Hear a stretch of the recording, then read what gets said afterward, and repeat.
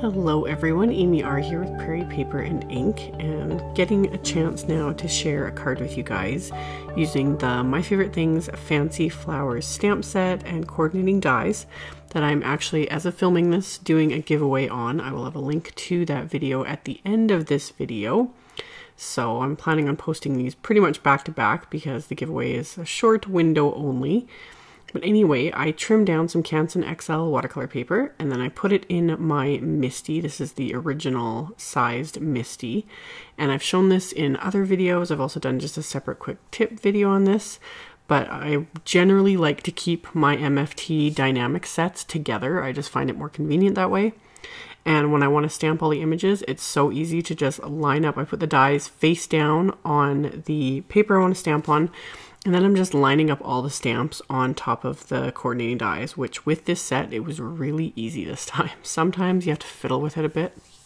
I know some of you will have trouble with it. You do whatever works for you. If cutting apart your dies works easier and it's easier for you to use, that's fine. Sometimes I still cut them apart. It just kind of depends on what I'm going for and what I'm creating and all that sort of thing. But for a set like this, it's just easier for me to keep that all together. So once I had all the stamps lined up, I shut the lid to my MISTI and then picked all the stamps up at once. And then I treated the watercolor paper with my anti-static powder tool. And then I'm inking up all of these stamps with my Versamark ink. So the anti-static powder tool keeps the embossing powder from clinging to anything but the stamped image.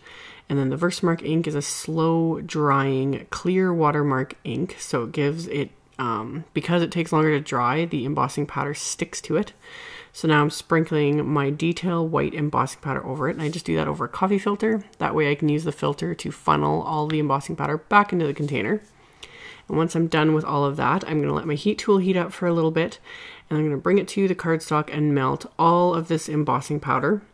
And when I'm stamping, when I'm doing white on white like this, when I think I'm done embossing, I always tilt the paper back and forth to make sure that all the areas are glossy, that there's no grainy spots. Otherwise, I just need to quickly melt those with my heat tool.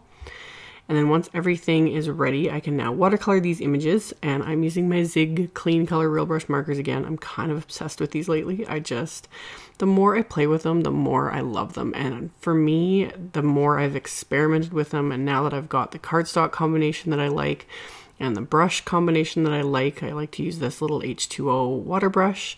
I like the Canson XL watercolor paper. Now that I have a combo that works for me, I just, I reach for these so often, obviously, because most of my videos lately have been using these. So I super sped up the coloring again. This is sped up about 10 times faster than it actually took me. Some of these images are fairly detailed, so I had to move a little slower than I normally would just to make sure I'm not like going all over with the colors but I kept my color palette fairly simple. I actually followed the colors that came, um, that this stamp set came with in the kit, which is what I am doing the giveaway on. The kit is no longer available. It's sold out literally like a day or two ago. But all of these items are available individually, so I will have links to everything in the description box below the video. But the colors of the kit really inspired um, the colors I wanted to use to create my card. So that's what I ended up using, and I will have a picture of all the colors on my blog. I used lilac, violet, pink, light carmine, pink flamingo, mustard, light green, and emerald green to do all of my coloring. And I would just go on um, pretty much using all the same color like at once per image and then go in with a different color, usually working kind of all over the place really because these flowers you can kind of do whatever you want. Just the style they are. So you can choose pretty much whatever colors you fancy to make these.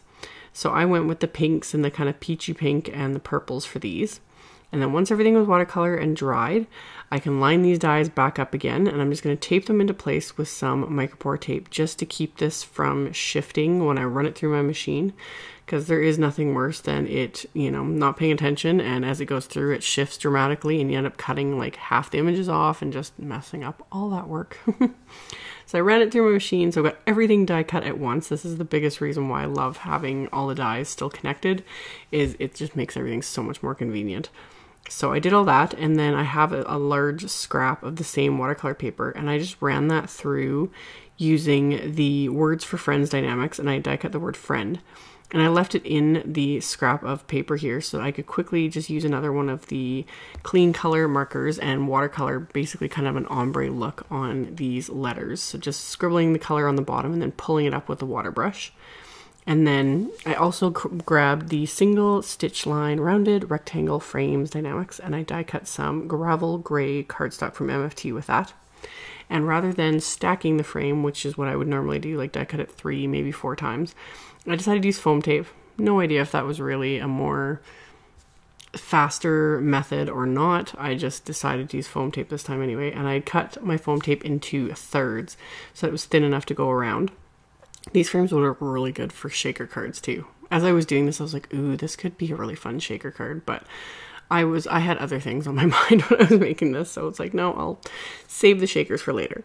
So I just adhered my frame to the card base, which is just heavyweight white cardstock, cut to um, five and a half by eight and a half, and then scored at four and a quarter. Four and a quarter, so it's a top folding A2 size card.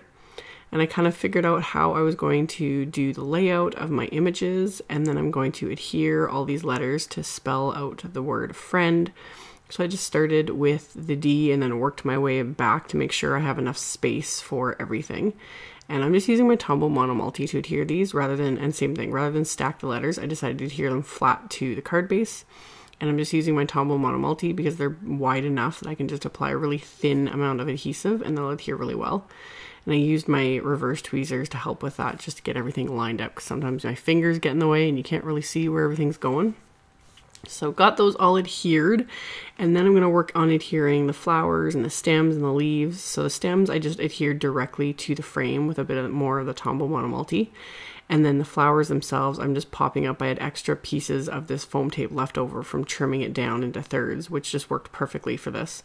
So I'm able to use all those small strips to adhere all the leaves and go around the flowers so it's not getting away in the frame. So it just worked out really well today. So I'm going to get everything adhered. I still kind of played around with the placement and the layout of everything. And then once I was like getting happy with it, that's when I'd start applying the foam tape and getting everything adhered into place. I wanted to make sure none none of the elements were popping off to the side of the card, which is fine if you're hand delivering it. I like the look of that, but if you're planning on mailing it, you either have to, you're going to have to get a bigger envelope or worse comes worst kind of fold over certain elements which end up kind of ruining the look of it. So I decided to keep everything contained within, you know, the frame of the outside of the card. And then once I had all that adhered, I'd saved the, the this last large flower and the leaves for the inside of the card and decided to keep it at that and not stamp any sentiments or anything. Just have this gorgeous flower and the leaves on the inside of the card and then plenty of space to write something to the recipient. And that finished it off. So like I said, there will be links below the video to my blog post with links to all the supplies used, um, pictures, all that sort of info is in the description box below the video. So check that out if you are interested. Thank you all so much for watching, subscribing, thumbs upping, commenting on my videos. I really, really appreciate you guys. And I will see you all very soon in the next video. Bye.